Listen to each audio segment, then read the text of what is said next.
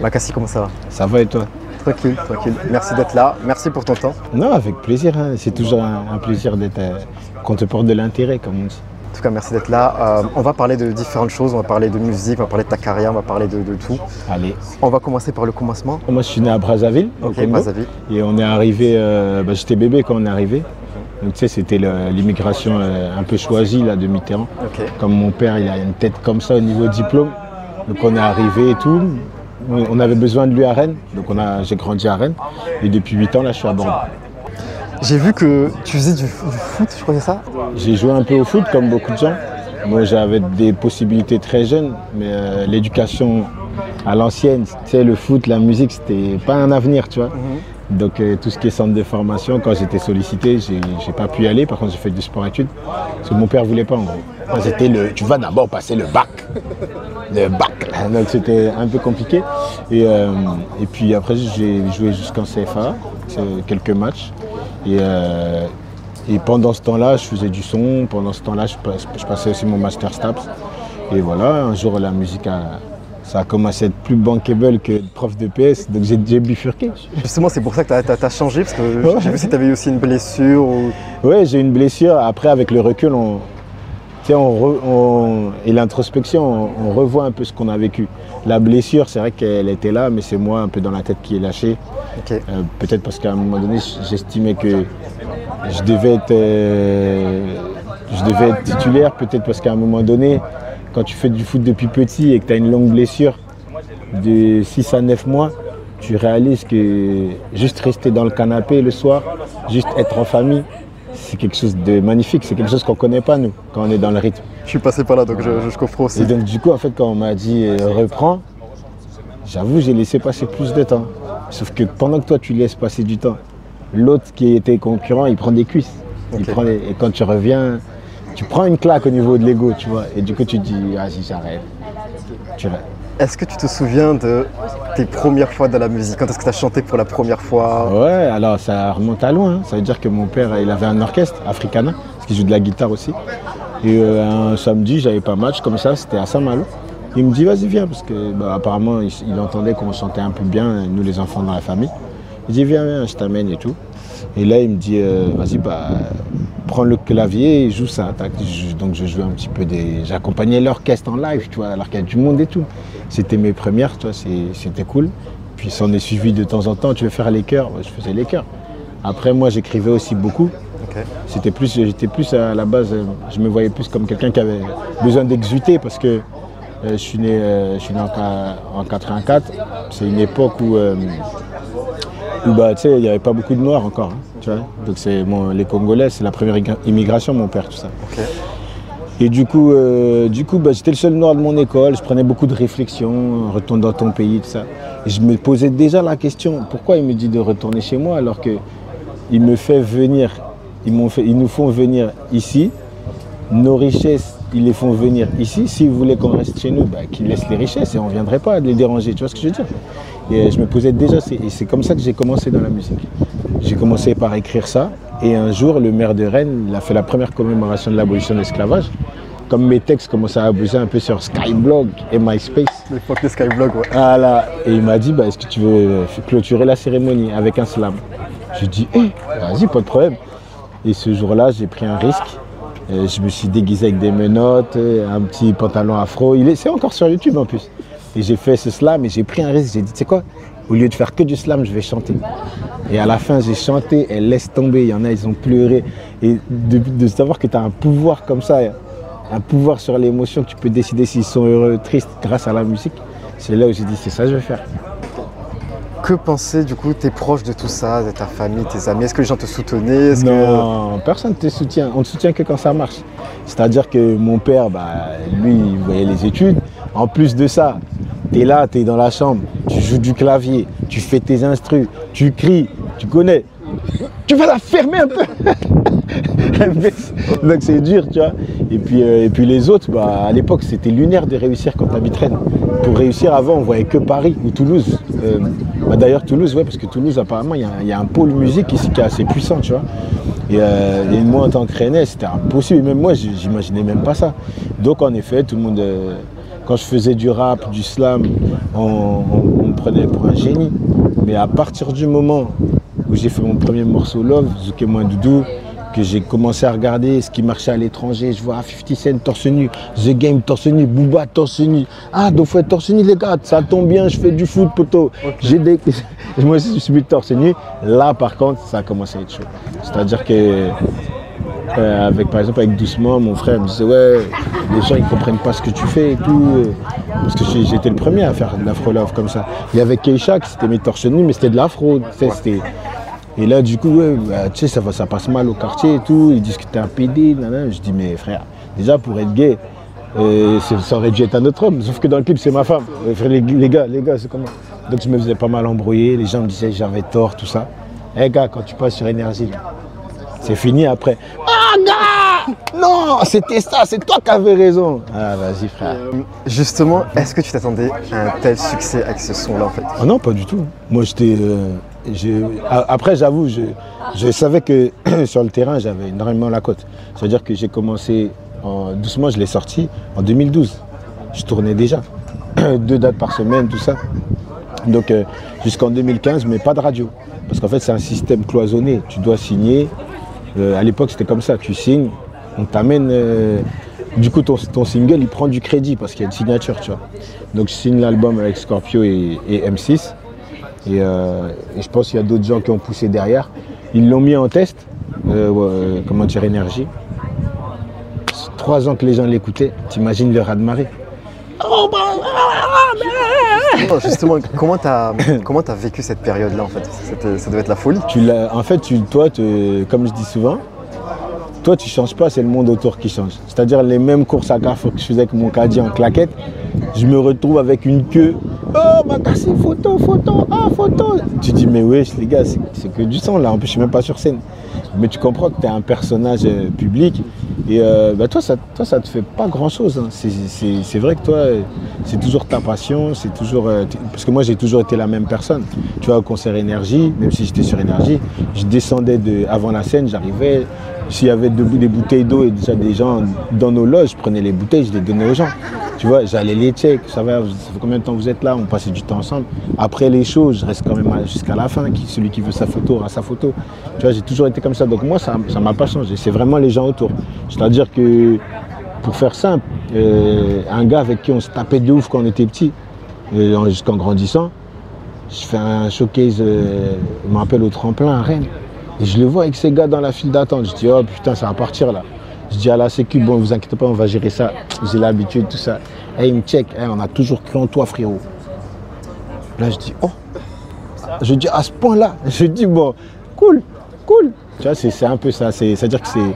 Toi, ça ne te change pas. Je pense que la, la- la réussite et le succès, elle exacerbe euh, les défauts et euh, la méchanceté ou, euh, ou au contraire la, la gentillesse ou la bonté. tu vois. Donc moi, ça ça m'a permis d'en faire encore plus niveau euh, bonté, niveau énergie pour les gens. Mais voilà, c'est financièrement que ça, ça change tout. Quel a été euh, le plus beau moment de ta carrière? L'un des plus beaux, ah gars, si on parle de façon pécuniaire, c'est... euh, J'avais toujours dit à ma femme que à 40 ans, moi c'est sûr qu'à 40 ans j'aurai une maison. Avant 40 ans, tu vois. Et ça on l'a fait, tu vois. Parce que c'est elle qui est dans le clip, donc c'est un peu une aventure à deux, nous. Et, euh, et ça, c'est le... Parce que bon, c'est vrai que ça prenait du temps. Il y a, des- il y a beaucoup de... Nous, moi je suis, je suis afro, afro-lover, donc forcément j'ai un public féminin. Tu pars, ta femme s'inquiète, tout ça. La SACEM met du temps à arriver. Trois ans que je tourne, toujours pas de SACEM. Ah ouais, ok, ok. Toujours pas. Je passe sur énergie, toujours pas Donc de t'as eu les trois ans cumulés d'un coup par contre. Ouais, donc ça veut dire que quand j'ai reçu, Le chèque. je dis à madame, viens, on va au resto, on va au resto, on se pose. Tac, tac, capture d'écran du compte, tiens. Elle a pleuré, frère. C'était magnifique. Parce qu'elle a souffert avec moi, du coup. Tu vois, c'est beaucoup de privation. Elle, elle, a, elle a tout assumé derrière pendant que moi, j'allais chanter. Tu vois, c'est super beau. Et après, c'est de pouvoir faire euh, plaisir, à, vraiment faire plaisir aux gens, à ta femme, euh, à, ta- à tes parents, tout ça. Et elle t'a rencontré avant la musique ou- Oui, oui, avant. Ah ok, donc Ah, euh, elle était là au début. Ouais, c'est pour ça, comme euh, je dis, c'est, elle a tout vécu, donc de vivre ça, ça, je pense que ça lui a fait beaucoup de choses, tu dans- donc elle a, elle a pleuré. Eh, mon gars, ça te faire pleurer ta femme, c'est bon. Ça, c'est clair, c'est clair. Euh, question par rapport au son El Taxi. Ouais. Comment ça s'est fait? Qu'à la base, on me dit, euh, il y a un morceau qui, bah, déjà, qui est indémodable, euh, enfin, qui est incroyable, euh, comment dire, en Amérique latine, mais en France, il prend pas, tu vois. Donc c'était la version El Taxi d'Osmani Garcia et Pitbull, ils l'ont déjà. Et donc euh, Sony, Sony Allemagne cherche un artiste français pour la faire péter en- ici. Alors il me, le- il me propose en premier, vu que je suis énergie, tout ça. Et au début je dis non. Je dis quoi? Le rythme de chaque Ademus Mais vous êtes des malades, on ne peut pas faire ça. Oh là là Pourquoi tu, dis- non? Parce que c'est un. Parce que c'est un- Tu peux pas toucher à ça? C'est ça. Je dis, mais les gars. Et au final, après, on me dit, bon, bah d'accord, on va aller voir Blacko. Je dis, non, les gars, les gars, les gars, posez-vous, les gars. On va discuter.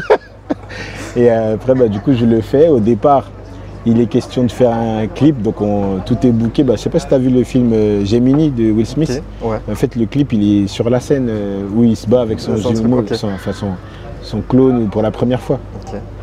Donc on va en Colombie, à Cartagena. Et puis euh, à la base, il devait être là, Pitbull et Osmani Garcia. Mhm. Mais il me semble qu'à ce moment-là, il avait des petits problèmes de justice. Il ne pouvait pas voyager, tu vois.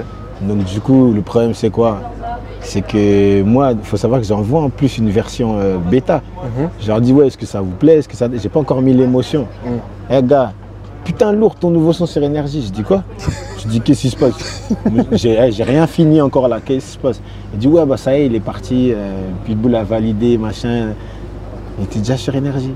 Ah ouais, donc Pitbull écoutait ta, ta version aussi. Ouais, c'est lui qui a décidé de la un petit peu si on validait comme ça ou pas, tu vois. Et t'as pu échanger avec lui ou pas? Non, pas- non, non, non, ok, ils ok. sont- Comme ton travail était fait, t'as dit Ouais, bon, ils voilà. sont trop loin. Mais tu vois, quand je l'écoute, j'ai toujours un petit pincement parce que moi, je suis, je suis très compliqué. Je suis un gars qui enregistre à l'ancienne. J'ai besoin d'avoir mis la bonne émotion pour dire c'est bon, gars. Et là, en fait, je leur ai dit, est-ce que ça vous plaît? Tu sais, je n'avais pas encore fait. Je dis, après, normalement, on dit, ouais, c'est lourd, là, là, là. Vas-y, finalise. Sauf que là, non, même pas. Et J'étais blessé. Mais euh, bon, tellement heureux, quoi. Tellement heureux de, du truc. T'as fait aussi une mini-série Afro Love Story. Afro Love Story. Eh, mais tu sais que cette série, elle est exceptionnelle. Pourquoi? Parce qu'elle fige le terme Afro Love dans le temps. Ouais. Parce que souvent, là, j'entends, oui, l'Afro Love, c'est ça, l'Afro Love. Des fois, des gars, ils viennent me dire, ça te dit, on fait un feat euh, Afro Love? Je dis, mais le gars, c'est moi qui ai sorti le terme en premier.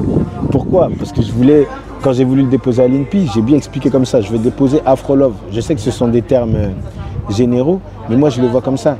Tout mon vécu, mon passif, toutes les douleurs que j'ai eues, tout ce que j'ai vécu, je veux pouvoir faire une musique qui va toujours soit sur le rythme, soit sur le style, soit dans une coutume, soit dans un rituel, soit dans un truc, rappeler la souffrance de l'Africain, mais malgré la souffrance de l'Africain, on est toujours dans la joie, on est toujours dans l'idée de créer du love. C'est-à-dire que même si je vais raconter l'histoire de la guerre, à la fin, je vais finir par- en parlant de la paix. Tu vois ce que je veux dire? Et c'était ça, Afro Love. Mais là, regarde, c'est c'est beaucoup très, c'est très très, je trouve Très que large, peu- très ouais, c'est trop large. C'est dommage. Mais tant mieux, les gens ils font de l'argent avec ça, c'est cool. Du coup, justement, euh, est-ce que tout ce qui est euh, cinéma, ça t'intéresse? Parce que j'ai vu quand même euh, tes Ah talents oui. d'acteur. De... Ouais, euh, franchement, j'ai pas mal joué dans Afro Love Story. hein. Les gens, ils m'ont dit ça. Et en plus, il faut savoir que c'est des modèles du, du quotidien, moi, que je prends dans les clips. C'est-à-dire que, par exemple, si un jour je croise quelqu'un qui est belle, une femme belle au naturel, je je suis susceptible de lui dire, bah, tu sais quoi, là, j'ai un projet, viens, on va travailler ensemble. Pourquoi je fais ça? Parce que je trouve que les modèles des agences, des agences ou les modèles qui ont déjà fait des clips, c'est pas méchant, mais je trouve que déjà, le, melon, il est incroyable, tu vois. Et euh, ensuite, les tarifs qu'ils demandent, c'est, frère, c'est les acteurs ils sont moins chers. Tu vois ce que je veux dire? Donc euh, je trouve que c'est un peu. Mais après c'est comme ça ça marche comme ça. c'est- Et du coup moi bah, cette série je l'ai fait avec des gens du quotidien, avec mon ami d'enfance à la, à la, à la prod, euh, Nicolas Saquet. Et euh, on est parti, on a loué une villa en Espagne, on a tourné les trucs. Et t'as trouvé ça comment? C'était pas mal, non? Non, franchement, moi j'ai aimé. C'était ma... D'où ma question de est-ce que si on te propose des rôles, des trucs, tout ça au cinéma, Ouais, bah moi ça m'intéresserait bien. Après forcément moi, comme je dis à l'époque qu'on m'invitait sur les plateaux euh, télé et tout ça, moi je je, je, je zouk pas les meufs parce que je- comme on dit on ressent forcément quelque chose. Donc dans les rôles, si j'avais des rôles à faire, eh ben je je galocherais pas des meufs. Je serais pas, il y aura pas ça avec moi. Ce serait donc euh, donc forcément Mais je me vois bien dans la peau des, des serial killers ou des héros Marvel ou des trucs comme ça. Un truc sombre, tu sais, à l'opposé, tu vois. C'est- quoi ton, ton- ton film préféré ou ta, ta série préférée? L'un des films qui filme parmi mes films préférés, c'est un peu badant, hein. c'est euh, La ligne verte. Ouais, la ligne verte, énorme. Après, tu as aussi Seven. J'ai eu des sang- sanglots, bah, je peux pas spolier la fin, peut-être qu'il y en a qui l'ont pas vu. Mais la fin, je sais pas si tu connais, c'est un. C'est sept péchés capitaux. Oh là, la fin, eh, moi j'ai eu mon. Quand, tu lui dis tenez-le, ah là là, mon cœur est. eh, c'était, j'étais pas bien. J'ai bien aimé Tirailleurs. C'est, c'est, un, c'est un bel éveil pour euh, la jeunesse actuelle et pour les gens qui aiment nous dire euh, retournez dans votre pays. Parce que c'est important qu'ils sachent, euh, ça. Il y a énormément de films. hein. Ouais. C'était quoi tes, euh, tes influences aussi musicales? Qu'est-ce que tu écoutes Ah, musical, c'est déjà la musique congolaise. J'écoute beaucoup de musique congolaise. C'est pour ça que souvent, quand on me fait des interviews sur les sons urbains, eh ben, je, je sèche, tu vois, parce que je ne m'y retrouve pas. Moi, je- comme je dis, l'avantage de l'époque, tous les artistes pouvaient exister parce que chacun écoutait ce qui lui ressemblait. Aujourd'hui, tu écoutes ce qui est à la mode. Et ce qui est à la mode, ça ne me ressemble pas, tu vois. Je ne partage pas ces valeurs-là. Tu vois, je trouve qu'il y a une grosse apologie à, inverser les valeurs, mais c'est pas c'est pas mon truc, tu vois. Et du coup, euh, pas beaucoup d'urbain, musique congolaise, euh, forcément Ray Charles, Michael Jackson. Euh, ça c'était les bases, hein. d'ailleurs mes aiguilles viennent de là. hein. J'allais Ah, demander justement si tu as la possibilité de faire une collaboration avec un artiste actuel ou un artiste décédé ou quoi tu Ah choisis. bah c'est Ray, Charles, Michael Jackson sur l'album, Bob Marley, euh, Tiken Fakoli, euh, qui d'autre? Ah, Il y en a plein que j'ai kiffé. Euh, Papa Wemba, JB Piana. Bah après, c'est pas, pas forcément connu ici, mais euh, moi j'adore. Quand j'étais petit, j'aimais beaucoup 50 Cent. Et là, avec sa série Power, je- ouais, on est d'accord que c'est. non mais il faut, il faut que je sois dedans. Non, ok, on est d'accord. Moi ouais. ça, j'aime beaucoup ça. Ah, c'est incroyable Ok. C'est incroyable C'est... Ah, après, comme tout le monde, j'ai aimé les deux premières saisons de Peaky Blinders.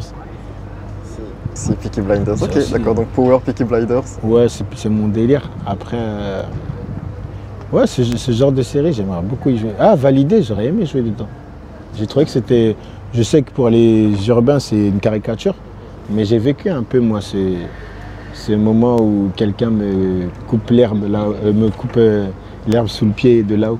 Je l'ai vécu, comme un petit peu euh, ça s'est passé avec Moussa. Mais Banlieusard aussi, pas mal. Certains diront que c'est une caricature, mais c'est la vraie vie, tu vois. Et puis Kerry James, il a toujours cette direction.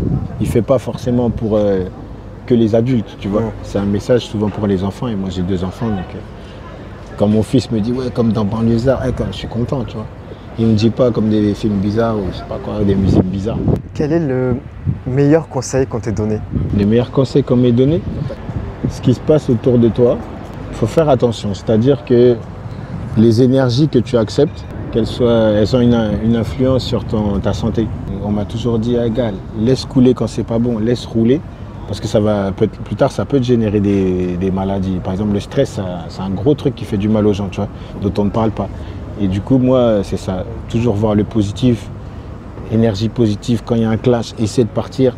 Comme ça, toi, tu restes dans le bon, dans le bien, et tu vas attirer des gens bien. Et c'est vrai que c'est ce qui se passe. Je dis souvent, je dis à ma femme, quand il y a des moments un peu douteux, je dis, ma femme, t'inquiète. J'ai quelque chose là-haut, il y a un truc qui va bien. Et en effet, tata, bah, il se passe. Et, euh, et je pense que ouais, j'ai vraiment quelque chose qui veille sur moi parce que au plus haut de la fame, euh, quand j'étais là-haut, on m'a fait une proposition indécente pour chanter sur un yacht. Et il s'avère que les deux personnes qui l'organisaient aujourd'hui sont dans une sauce euh, un peu pédocriminelle. Tu vois. Ah ouais, ok. Donc Donc ça veut dire que toi, tu vas là-bas, tu chantes, à la, à la fin l'histoire elle sort. Parce que c'était en 2017, donc ça fait quand même ouais, ça fait 7 ans. Le truc qui sort après, c'est-à-dire il est sorti récemment, tu te dis putain mais Makassi aussi il était sur le bateau. Tu vois ce que je veux dire? Et donc le fait que je refuse ce truc, ça, ça- ça contribue à avoir un peu fermé les portes du plus haut. Tu vois? Et je suis très content de ça. Aujourd'hui j'ai une belle carrière, je chante tous les week-ends, parce que doucement c'est un indémodable. Tous les week-ends je suis en showcase. J'ai un train de vie que beaucoup de gens ne pourront- pourraient pas avoir en, en tra- en travaillant normalement. Et pourtant, j'ai moins de fame. Donc, je, je peux me balader. Je peux aller à la plage. Je peux grossir. Je peux maigrir. Tu vois? Et ça, je trouve que c'est super beau. Je peux, je peux, je peux m'étaler sur des sujets là, que les gens qui sont euh, bah, du coup tenus par les, mes- mes- Célébrité ne pourrait pas. ouais. ils ne peuvent pas, parce qu'en fait, leurs patrons sont, sont ceux qui, qui colportent ces choses, tu vois? Et moi, bah, je, peux dire, je peux dire des choses. Je peux, voilà. Donc ça, c'est le meilleur conseil, c'est ça, les énergies, rester dans, dans une vibe euh, d'un ressenti, tu vois. Une vibe de ressenti, ça te permet d'éviter tous les pièges de la vie et des grosses, euh, des grosses industries, comme on dit. Quand on est, quand on est artiste, Ouais. est-ce que tu dirais qu'on est plus souvent seul ou entouré? Parce qu'il y a beaucoup d'artistes qui ont un succès incroyable mais qui sont seuls. Non, t'es seul, hein, t'as raison. T'es es, seul. Regarde-moi, en vérité, aujourd'hui, je compte sur qui? Sur deux, trois personnes. Et euh, ma femme, mes enfants, ma famille, c'est tout. J'ai pas plus que ça. Par contre, du coup, ça ça m'a permis de, vite créer des catégories. Ça, ça va être la vraie famille. Le reste, en général, c'est des bons moments, des connaissances, des partages musicaux. Mais je vais, j'irai plus jamais chercher à avoir plus avec quelqu'un.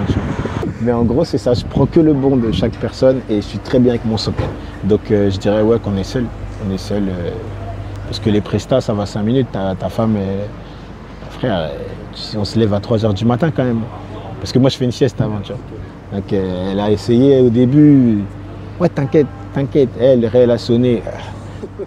Ça te dérange pas si je reste Je dis, mais même, ça, même ma belle-sœur. Les, hey, les chiens font pas des chats, frère. C'est la même famille. Elle est venue récemment. T'inquiète, oh là là, c'est mon anniversaire en plus. Allez, boum, le réveil il sonne. Je vois que le beau-frère qui sort. Je dis, elle est. Ah, elle dit, frère, elle est décédée, elle est morte, elle, reste au lit. Là, c'est dur, hein. Surtout que c'est dur, donc tu es seul. Puis même dans. En vrai, tu fais ton show, tu es la star, tu descends de scène, chacun va à ses occupations. Ça veut dire que. euh, ouais, c'est- des moments. où Tu montes en énergie, tu montes en. Pour ceux qui s'accrocheraient à ça en termes d'estime de soi, et boum, tu retombes et tu pourrais déprimer. Et- et en vrai, tu es toujours seul. T'es toujours seul. Qu'est-ce qu'on peut te souhaiter pour la suite? Bah là, comme je vais sortir un projet, euh, bah, souhaite-moi qu'il explose, que j'ai un deuxième chèque, comme prévu, et que je puisse distribuer. Parce que là, je sais pas, le nombre de couples, le nombre de- d'enfants, le nombre de mamans, le nombre de, de- papas qui ont créé des liens sur mon son, sur mes sons. Si je pouvais encore donner mille fois plus d'amour en ces temps-là, en ces temps troublés où, où, je trouve que les- les gouvernants divisent. Parce que moi, j'ai quand même vécu une époque où tous les mois, dans chaque tour, maman euh, turque, elle fait à manger, ma mère, elle fait à manger, maman française, elle fait à manger. Tout le monde est là, on mange. Les gens, ils sont voilés, les gens, ils sont... Tout le monde s'en bat les couilles. C'est même pas un sujet. Donc je sais que ça, ça existe. Ça existerait s'il n'y avait pas les politiciens. Donc en fait, moi, parce que ouais, c'est ça que je me souhaite, c'est de pouvoir dis- distribuer de l'amour et que les gens se rappellent que ça, ça existe, ce genre de moments. Ça existe, le, partage. Et moi, ma musique, c'est ça, tu verras, hein, on va réunir, ils vont bouger comme un seul homme. Et ça, je sais que c'est possible, mais avec eux là, tant que les gens ils voudront voter pour eux là, qu'ils auront, besoin d'une tutelle, ce sera difficile. Ce sera difficile. La- la- même l'amour, même l'amour, il est fracturé. C'est-à-dire que les gens ne croient même plus au fait que sans les politiciens, moi, j'ai, admettons, j'ai j'ai quatre steaks. Je suis en train de manger, tu es là, il est là. Tu crois que je vais manger les quatre? Ou je vais manger quand j'ai plus faim, tu crois que je vais mettre au frigo? On partage. On va partager. Mais si le politicien arrive et dit Ah, tu partages, mais sache que peut-être dans une semaine, là, il y aura une pénurie. hein. La fin du monde, hein. le réchauffement qui. Là, Créer tu- les conditions de, de la ça. division. Pour ça, à chaque fois, je dis arrêtez de leur donner de l'importance. C'est leur métier en plus. Ils se connaissent tous, ils font l'ENA ensemble, ils, ils font les, les, les partous ensemble, ils font tout, frère. Laissez-les, on n'a pas besoin d'eux. Et euh, ouais, moi en tout cas, je suis, je suis une alternative à tout ça. Si t'en as marre de, de BFM, nous on est là, on va chanter, on va sortir un album, il va péter, on va le partager entre nous et puis tout le monde sera heureux, il n'y aura que de l'amour. C'est ça que je me souhaite, de distribuer beaucoup d'amour aux gens. Je crois que c'est ma mission un peu. J'ai l'impression. Donner du bonheur encore et toujours. Merci à toi. Avec plaisir. Ah, mon gars, lourd.